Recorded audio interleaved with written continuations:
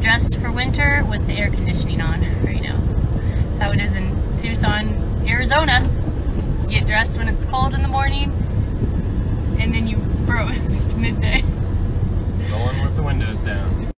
We're headed to the nursery right now to look at real trees. Because Trav didn't like the olive tree that I got yesterday.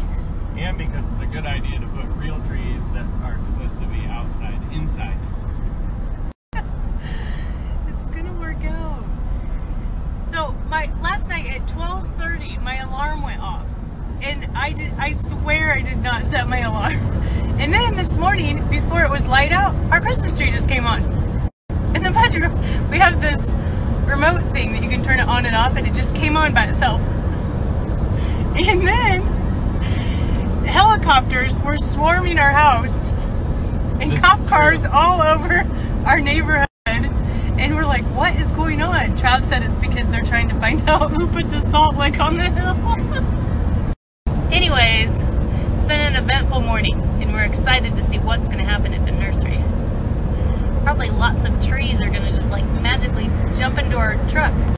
It does. We found Java the Hutt's trees. It's Jabba the Hutt tree. And they're only $900. Is that on sale, Trav? It's the Adenium arabicum. Arabicum. Look at all these poisonedias. They're huge. So much poison. That one's cute with the twisted trunk. It is twisted. I, I think I like these weeping fig things. Hmm. Do you think those would live in our house?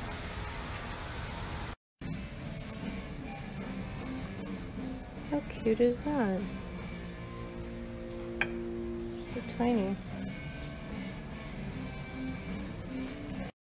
We're headed to the indoor, back to the indoor arena because these greenery people think they know it all about plants and stuff and they said that eucalyptus trees and olive trees won't grow inside because they like the elements. I have a sound machine with a thunderstorm setting and a rain setting and we have a heat lamp. Just teasing around. They're actually really nice here. This place is called Green Things and there are a lot of green things but there are some brown things too and lots of poison. Okay, so do you guys like the ficus tree better or the weeping fig? That's a weeping fig. Sorry if I'm making you dizzy. There's the talking parrot.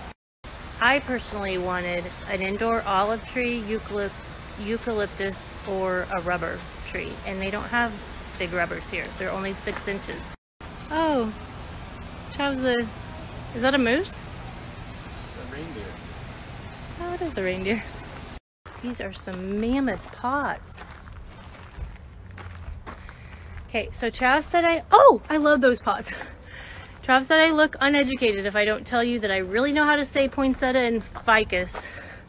It's just more fun to say ficus than poisonedias. They're poison to dogs and cats. Trav, just try to say ficus. Just It say won't come out of my mouth. ficus. Ficus. Oh. I know. This is like the coolest thing. I just want. I just want to like live in that. Um, some of you are going to disagree about with me about the poison Edia thing. That they're not poison. I think one of you told me that the cat would have to eat 44 poison Edias before it would pass away. But I don't know. I just think if it starts eating them, then it's on its way to death. Do you guys like those? And look at that cute one. This little shop is. Oh, those are cute ceilings. BYOB. Bring your own bag. Bring your own bag. Katie, are you going to bring a bag next time? No.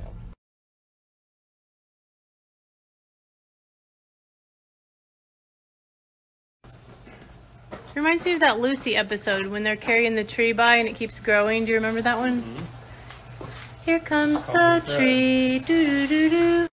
If you've been around here for a minute or two for the last week or so, you'll know that I made a pot for my plant and this it was way too small for this tree. So we got another pot and then I'm gonna use the other pot for something else. But I love, love this. And it's perfect for the tree. This pot, it just has the perfect rustic character that I love. And if if the tree outgrows the pot inside it, then we can replant it in this if we would need to.